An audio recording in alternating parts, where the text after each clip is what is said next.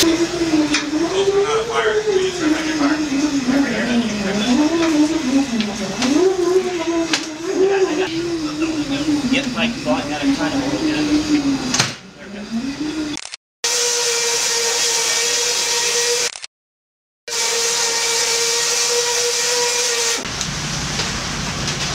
is where we're all working together, you know, with the uh, Smith guys helping us. Get- as soon as he gets the pry bar, we can get it, it's going, get it right off underneath that thing.